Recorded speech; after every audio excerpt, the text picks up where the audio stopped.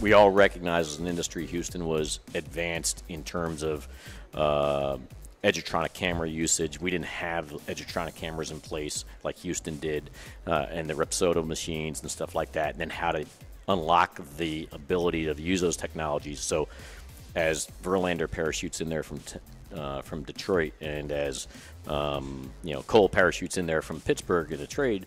In both cases, those guys' game got upped by the benefits of the knowledge capture that they are ahead of the industry on. Right. First of all, those are some big words. Are they real words or are they Sean trying to say real words? Edutronic. Yeah. I don't know. What did the soda machines have to do with it? I think it was Rip Soda. Right. Ripsodic? I don't even know what he no, said. No, I think he meant like the vending machine. he You didn't. think so? You think he was talking about that the Astros had advanced soda machines? Like when you go to a new Wendy's, No, like cameras in them looking at everybody. when you go to the new Wendy's and you can choose all the different Coke options and you can mix all the different. Which is a Coke op- great thing, by the way. It's an amazing thing. I mean, we- five years ago, Colt guys. Can we play? well, the Astros had that. The Yankees didn't have that soda machine. Uh, and the Rapsodo machines and stuff like that, and then how, He's saying soda machine. You think he's saying so- Sodal?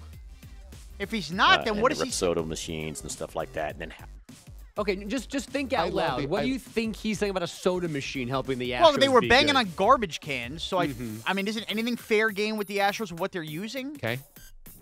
Oh, valid point. So you think that maybe they were banging on a soda machine and that's what gave Verlander and Gerrit Cole a boost? Or like maybe using the soda machines in like the p- proposing locker rooms to spy on them. So you're convinced that Brian Cashman's talking about the advantage technologically that the Astros had with their soda machines. Look, to be honest, it was 5:05 when I listened to this clip and I put it in there. And my first thought was they did something with soda machines, and I wanted you to hear it. uh, and the Rapsodo machines and, And- stuff like that. and clearly, this is blowing my face because my I was I thought for sure you were gonna be like, wow, what were they doing with soda machines? And apparently, I'm the only idiot that heard soda machines. Yes. Rip, rip soda machines. Do It's you ac- know what that is? It's some It's like a Johnson rod. It's just like some type of this edgematronic, as Brian Cashman said. I got it. Okay, what is It's it? Rapsodo, R A P S O D O. It's a company. It's like a motion capture system where you use to tweak into perfection your motion. Whether it's pitching, you can use it for a batter for your stance. Golfers use it, uh, but it's Rapsodo, R A P S O D O. It's a company. So I mean, he gives that interview on radio. Who knows what that is? You can't just drop that in. I would agree with that. But I would also say that's embarrassing for Brian Cashman to admit because number one, it's excuse making. It's, oh, they had all the technology we didn't have. Oh, well, that's why Verlander was good. That's why Gerrit Cole was good. It's because they had all this technology that we didn't have. Number one, it's excuse making. Number two, you're the freaking Yankees. You should have the best stuff.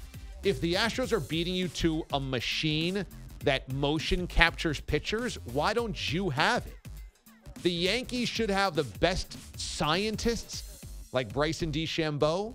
They should have the best technological advancements. They should have the best computer engineers. They're the freaking Yankees. You're in New York City. You should have the best of everything.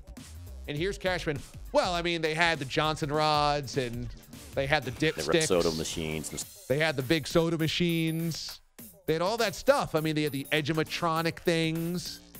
You know, you got Brian Cashman saying, well, I mean, the Astros had all this stuff that we could never have.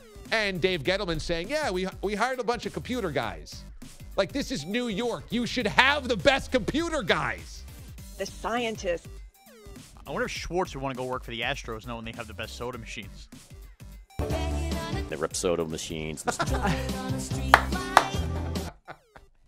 Banging on rip soda machines. the Rapsodo machines making those orange cokes. Half orange, half cherry. I think the, the big soda machine would be a good nickname for Schwartz if he was an athlete.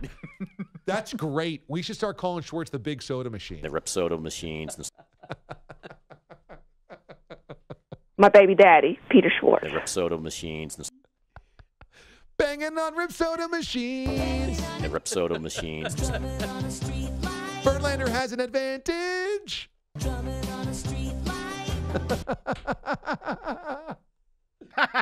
Banging on soda cans. The Repsoda machines.